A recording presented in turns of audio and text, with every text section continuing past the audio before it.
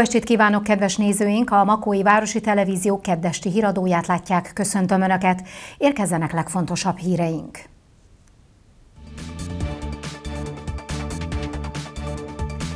Ezer éves öröksége előtt tiszteleg a megye.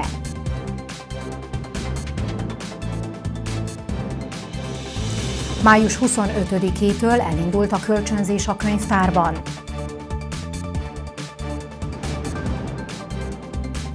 Fagyi kupont kapnak a város gyermekei.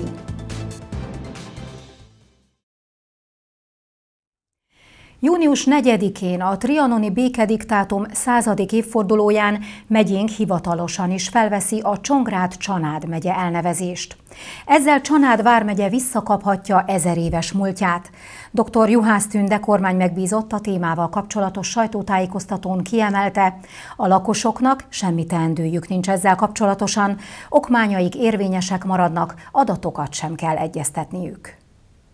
A névváltoztatásra Lázár János országgyűlési képviselő 2017. március 31-én kelt levelében tett javaslatot, valamint kért ezzel kapcsolatban véleménynyilvánítást a Csongrád megyei közgyűléstől. Még ugyanebben az évben az országgyűlés ellenszavazat nélkül el is fogadta az indítványt. Dr. Juhász Tünde kormány megbízott a témával kapcsolatos sajtótájékoztatón kiemelte, a megyében élőknek semmi teendőjük nincs az átnevezésből fakadóan. Miután eh, az országban egységes személyi azonosító okmányrendszer működik, így semmiféle teendője nincs az itt élőknek a megyenév változtatással kapcsolatosan, tehát semmilyen okmányuk nem kell, hogy cserélődjön, semmilyen azonosító felületen nem kell ki cserélniük a rájuk vonatkozó adatokat. Jelentem, nekünk van feladatunk mindenképpen, hiszen ahogy például itt is látják ezen az arculati falon, számos olyan táblán, falon meg kell változtatnunk a megye elnevezését, amely a névváltozásból adódóik. Ezeket megcselekedjük jövő csütörtökig, illetve nyilván az általunk kiadmányozott hatósági döntésekben is meg fog változni a kormányhivatal elnevezése. Hozzátette, ezek nagyságrendileg 1-2 millió forintba fognak kerülni. A kormányhivatal weboldala továbbra is a www.cmkh.hu cím alatt lesz megtalálható, valamint a most érvényben lévő e-mail címek sem változnak meg. Gémes László, a Csongrád megyei közgyűlés elnöke elmondta, több dologgal is készülnek az eseményre. A 2020. június 4-i névváltozás alkalmával a megyei önkormányzat egy emlékérme készítésével szeretett volna méltó emléket állítani ennek a napnak. Az érme egy 6 centi átmérőjű bronzérme lesz, amely a kezemben látható. Az előlepi oldalon Csongrád Csanád megyének a címere, és természetesen fölül a felirat. És a hátoldalán a megyének, a megye térképének a körvonalai láthatóak. Két pajzs rajta, Csongrád és Csanád eh, pajzsa, és emlékeztetve mindenkit az eddigi megyeszékhelyek és a jelenlegi eh, megyeszékhely településeknek a elhelyezése és a neve eh, található meg a hátlapi oldalon. És emellett készülünk még egy megyetérképnek a kiadásával. Itt szeretnénk ábrázolni a, természetesen a jelenlegi megyehatárt, de szeretnénk ábrázolni rajta a korábbi megyehatárokat is, hogy minden magyar ember tudja azt meg, hogy Csongrád Csanád is valamikor Torontál megye hogyan húzódott, és mi a mostani megye határ. Csongrád megye 1950 óta működik a mai közigazgatási határai között, ugyanis a Rákosi korszakban felszámolták a hagyományos magyar önkormányzatiságot és a vármegye rendszert is, helyette szovjet mintára tanácsrendszert vezettek be. A megye ekkor az egykori Csongrád, Csanád és Torontál vármegyék területeiből kapott. Június 4-ével nevében pedig 70 év után újra szerepelhet majd az egykori Csanád neve. Miklós Péter, a Tornyai János Múzeum és Közművelődési Központ igazgatója elmondta, ezer éves örökségünk elő előtt tisztelgünk ezzel a lépéssel. Csongrád megye és Csanád megye egyidős a magyar államisággal. Csanád megye, amelynek neve most ennek a régiónak az elnevezésébe ismét bekerül, nagyjából ezer éves, hiszen a történeti forrásaink szerint 1030-ban a csanádi püspökséggel együtt szervezték meg Csanád vármegyét. Már csak ez az ezer éves múlt is indokolhatja azt, hogy Csongrád megye, innentől Csongrád Csanád megye néven működjön tovább, hiszen a magyar államiság, a magyar önkormányzatiság ezer éves hagyománya jelentkezik, az egyébként 1950-ben megszüntetett Csanád vármegye nevének újbóli fölvételével. Dr. Juhász Tünde kormány megbízott az eseményen hozzáfűzte, a döntés történelmileg indokolható, eszmeileg pedig érthető, hiszen a Trianonban szétszakított Magyarország egyesítésének és összefogásának vágyát jelképezi, és egy ilyen szimbolikus orvosságra minden magyar léleknek szüksége van. Televíziónk Csanádvár megye megszületésétől egészen napjainkig feldolgozta a történelmi múltat. Stábunk ellátogatott az egykori nagy magyarországi területekre, ahol számos máig is fájdalmas emléket osztottak meg velünk az ott élők, köztük Trianon tragédiáját is. A dokumentumfilmet Trianon századik évfordulóján június 4-én 19 órakor tűzzük műsorra.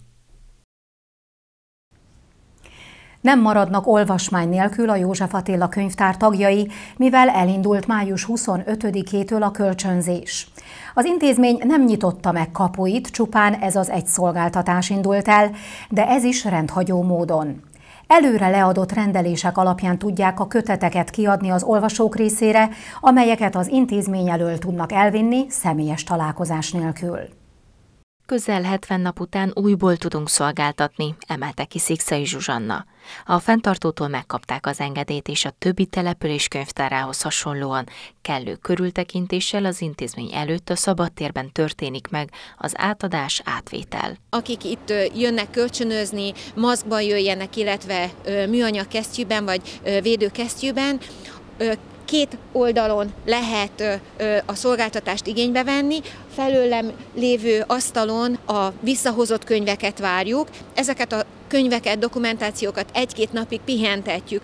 Ugye mindenképpen a vírus terjedését megelőzően ezeket fertőtleníteni kell, de egyesével nem tudjuk. A pihentetés, hogyha nem nyúlunk hozzá, már az, az nagyon sokat segít. A másik oldalon pedig azoknak a, az olvasóinknak, akik vagy betelefonálnak hozzánk, vagy e-mailben jelzik, hogy mely kötetekre, köteteket szeretnék kikölcsönözni, azokat már oda készítjük. A könyvbarátok figyelemmel kísérték a könyvtár tájékoztatását, és éltek a május 25-i lehetőséggel, hiszen stábunk már az első napon talált kikészítve könyveket, névre szólóan az intézmény előtt kihelyezett kis asztalon. A kölcsönzési szabályok részleteire is szintén kitért az intézmény igazgatója. Maximum három kötetet lehet egyszerre kölcsönözni tőlünk, és mindenképpen időpontra kell visszajönni. Tehát ez nem úgy fog lezajlani, hogy betelefonálnak és egy óra múlva lehet jönni, hanem időpontot fognak a kollégáim megadni, hogy mely idő traktusban tudják ezeket a könyveket átvenni. Mindenképpen mi is alkalmazkodunk ahhoz, hogy a 65 év felettiek 9 és 12 között mozoghatnak élelmiszerboltokban és a városban. Mindenképpen ezt a korosztályt ebben az időszakban szeretnénk megszólítani. A Tudásközpont a régi nyitvatartással kezdi meg a kölcsönzési szolgáltatásait. Az eddig kivett könyveket is vissza lehet már vinni, melyet szintén a kihelyezett kosarakba kell belerakni. Ezek a könyvek pár napos pihentetés után lesznek majd csak elérhetőek. A Magyar Vörös Kereszt Csongrád megyei szervezetének önkéntesei is bekapcsolódtak a koronavírus járvány idején a határon és a mintavételezési buszokon lévő munkába, amelyet az Országos Mentőszolgálat munkatársai is végeznek. A Vörös Kereszt továbbá a véradásokat és a karitatív segítségnyújtást nap mint nap folytatja tovább. A Magyar Vörös Kereszt az Országos Mentőszolgálatnak már hosszú évek óta stratégiai partnere. Az első segélynyújtás vizsgáztatás területén nap mint nap együtt dolgoznak, így nem volt kérdés, hogy ebben a rendkívüli helyzetben is segítséget nyújtanak a mentősöknek, mondta el televíziónknak Sosvári Krisztina, a Magyar Vörös Kereszt Csongrád megyei szervezet igazgatója. A koronavírus járvány idején pedig a Magyar Vöröskereszt úgy döntött, hogy ezt a partnerséget azzal is erősíti, hogy megpróbál kiemelt támogatást nyújtani az Országos Mentőszolgálatnak, hogy az ő szakmai feladateik ellátása sokkal koncentráltabb lehessen. Ennek érdekében többféle feladatellátást is vállalt föl országos szinten a Magyar Vöröskereszt, és ezzel a feladatellátással foglalkozik a Csongrád megyei szervezet is. Elsőként húsvét után kapcsolódtunk be logisztikai támogatással a mentőszolgálat munkájába is Csongrád megyében. Ami azt jelenti, hogy a lázméréssel és a határellenőrzéssel foglalkozó mentősöket a vörös keresztes kocsival szállítják ki, hiszen a nap 24 órájában a határon ellenőrzés történik. Sasvári Krisztina hozzátette, hogy a logisztikai támogatás révén nem a mentőautók kerülnek ki a forgalomból, hanem a saját autóik, amelyekkel szintén nagy biztonsággal tudják elvinni a szakembereket a helyszínre. Hangai József, az Országos Mentőszolgálat Délalföldi Regionális Mentőszervezet kommunikációs munkatársa is kitért arra, hogy miben nyújtanak számukra még segítséget a vöröskeresztes önkéntesek volt, amikor négy darab mintavételezési kocsi volt beállítva. Ugye ezeken a, a kocsikon teljesítenek szolgálatot ezek a, az önkéntesek, illetve a határokon leginkább Röszke és, és Családpalota az, ami bennünket érint. Itt folyamatosan 24 órában határátkelőnként kettő, illetve három fő teljesít folyamatosan szolgálatot. A mentőszolgálat mellett a Magyar Vöröskereszt Csongrád megyei szervezete a hátrányos helyzetű személyek segítésével, ételosztással, maszkok adományozásával is karitatív missziót vég. Városunk közösségi élete elképzelhetetlen a május végi gyermeknap programjai nélkül, azonban az idei évben a járványügyi helyzet felülírta ezt. Makóváros önkormányzata ezért a Makói lakcímmel rendelkező 4053 gyermek részére ajándékkal két darab fagylalt kuponnal kedveskedik. A Nemzetközi Gyermeknapot a világ számos országában megünneplik az év legkülönbözőbb napjain. Tudomásunk szerint először Törökországban tartották meg 1920-ban az eseményt. Magyarországon az Országos Gyermekvédő Liga kezdeményezésére már a 20. század első évtizedében is rendeztek gyermeknapot. 1950-től 1953-ig június első vasárnapján tartották, és csupán ezt követően döntöttek úgy, hogy minden év május utolsó vasárnapján rendezik meg a Nemzetközi Gyermeknapot. Településünkön több éves hagyományra nyúlik vissza, hogy a kicsiknek nagyszobású programokkal készülnek a Petőfi Parkban, ahol ugrálóvár, koncertek és kézműves foglalkozások várják a kilátogatókat. Idén a világjárvány miatt ezek az események elmaradnak, viszont Makóváros önkormányzata még így is megemlékezik a világnapról. Mégpedig két darab fagyi kuponnal kedveskedünk a gyermeknap alkalmából önkormányzati szinten és egy kicsit ezzel szeretnénk a helyi vállalkozásokat is támogatni, hiszen ezeket a fagylalt kuponokat a helyi cukrászdákban, vendéglátó egységekben lehet majd beváltani. A kipostázott kuponokat ezen a héten kapja meg az összesen 4053 18 év alatti gyermek, akik a papcukrászdában és fagyizóban, a gyarmati, a kugler, a gyöngyfagyizókban, továbbá a sütisarokban és a réparetek magyarul zöldségesnél tudják beváltani azt. Fontos azt hangsúlyoznunk, hogy pályázati, részben pályázati forrásból tudjuk ezt a meglepetés ajándékot adni a makójaknak, ezzel is boldog gyermeknapot kívánva a szülőknek is, és természetesen a gyermekeknek is. Családbarát önkormányzat vagyunk, ezért fontosnak tartjuk ezeket az apró figyelmességeket. Egy kuponért egy gömbfagylalt jár. A családok május 31 és június 7-e között használhatják fel az ajándékba kapott jegyeket. A több mint 300 növendéket számláló Varga Balett táncműhelyben is megállt a próbatermi munka egy időre a járványhelyzet miatt. Az elmúlt hetek ennek ellenére nem teltek eseménytelenül a csapat számára. Egy országos online megmérettetés keretében több díjat is bezsebeltek a fiatalok. Szegeden, Hódmezővásárhelyen és Makon 21 csoportja van a Varga Balett táncműhelynek. Varga József művészeti vezető stábunkkal megosztotta, hogy a koronavírus miatt márciustól nem kerítettek sort a próbákra.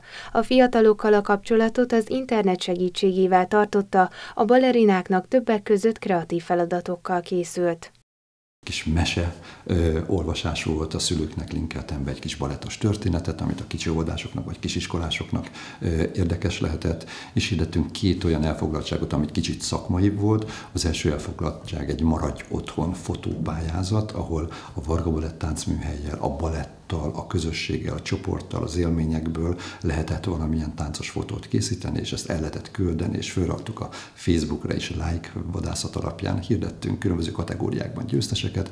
Nagyon kreatív fotók készültek, nagyon boldog voltam, hogy ilyen igényes fotókat tudnak készíteni a gyerekek.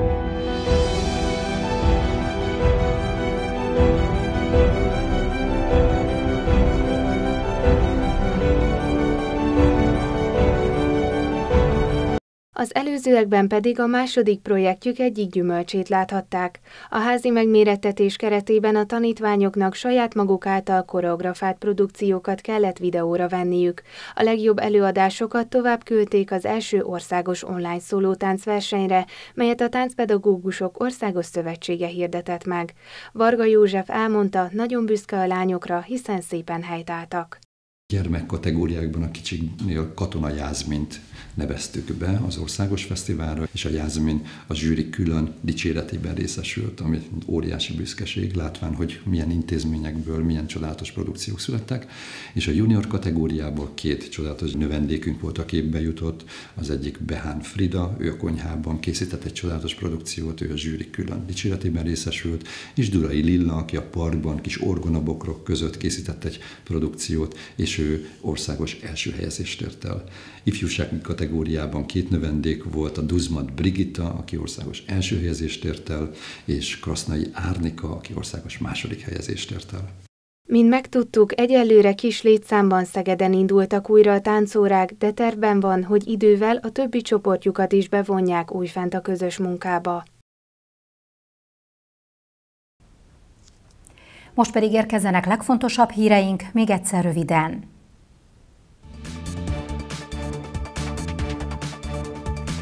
Ezer éves öröksége előtt tiszteleg a megye.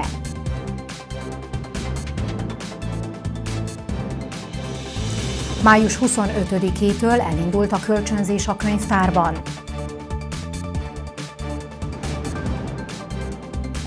Fagyi kupont kapnak a város gyermekei.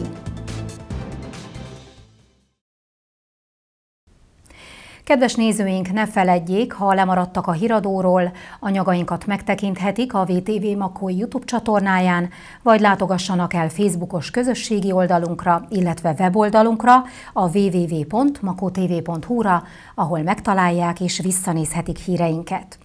Híradónk után megmutatjuk a holnapi időjárást, majd a Makói Városi Televízió saját készítésű Trianon határon innen és túl című visszaemlékezését láthatják. Ezután Hírextra című hírháttér magazinunkkal jelentkezünk, később pedig Isten tiszteletet közvetítünk felvételről a belvárosi református templomból. Végezetül a Kemencés és Grillételek című gasztromagazinunkat láthatják. Kedves nézőink, ez volt a keddesti híradó. Legközelebb holnap jelentkezünk ismét friss hírekkel, tartsanak velünk akkor is, és vigyázzanak magukra, viszontlátásra!